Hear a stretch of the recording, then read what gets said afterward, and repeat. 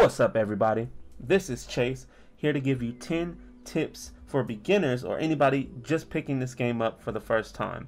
Okay, number one, talk to your vendors. I went six hours of playing this game, had no idea this NPC will allow you to upgrade attributes permanently. Permanently.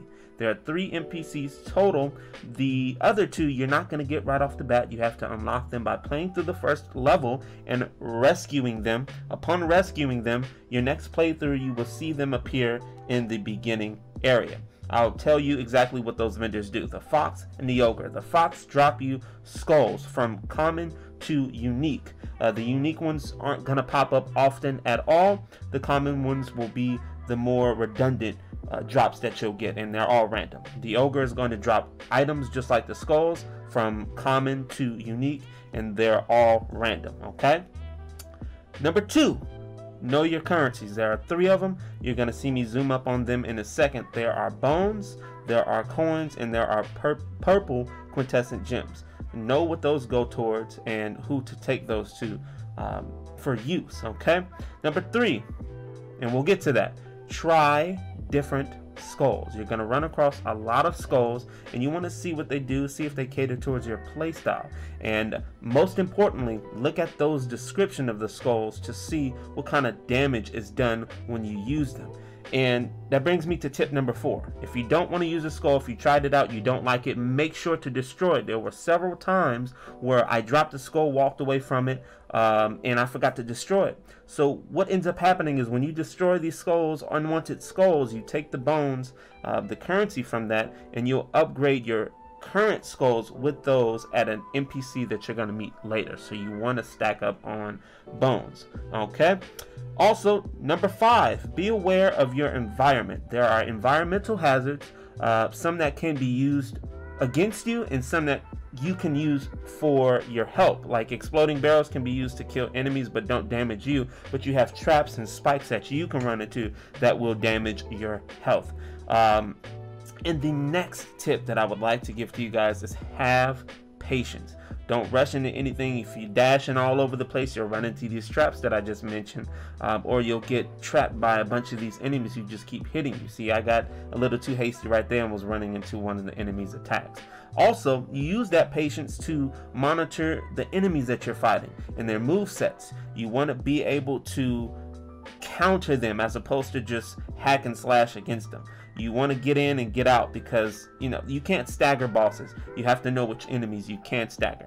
Number seven, know the difference between magical and physical damage. See this character I'm using right here, he uses magical damage. The werewolf that you're about to see uses physical damage and you have to know these things because you're going to pick up items that cater towards these specific builds so you have to know which items go to what most importantly that will require you to read them so that brings me to tip number eight read the item descriptions so you're not stacking up a, on a whole bunch of magical items when you're using a physical based skull. Now, every now and then you'll run across a skull that utilizes both. Um, the basic attacks will utilize physical damage, and the abilities will utilize magic damage. So be be on the lookout for that. Also, look out for door colors. That's tip number 10. The purple doors will mean that you're going into the shop. The green doors mean that the reward at the end of that room will be a skull. That door to the left, the treasure door, will reward you coins or uh, quintessence or whatever other currencies. All but the bones. The bones can only be received once you break down unwanted skulls. And you'll have another orange door, and those basically reward you with random item drops. They won't be currency. Well, I think you can get gold from those doors, but I think for the most part, it's a random skull drop or uh, random item drop at the regular orange door. The door that isn't gold uh, with the king's crown at the top. Those are your regular orange doors, which are with random drops, pretty much. So those are my 10 tips uh, for you guys.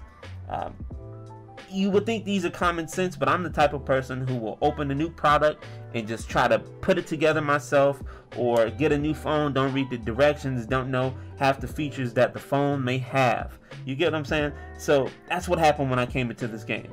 You know, I went through it, didn't didn't have any idea about the mechanics, and I missed a lot of stuff. So hopefully this helps you out just to let you know, I stream Monday, Wednesday, Friday from 7 to 10 or 7 to whenever I finish. And um, yeah, hopefully you guys like the video. And you see my man's mask is so cool. So cool. Hit that notification bell so you know when we go live and subscribe. If you do, thank you very much. Thank you for showing some love. Thank you for looking at the video. And hopefully you guys liked it and you like this dope mask. You guys have a good one and take care.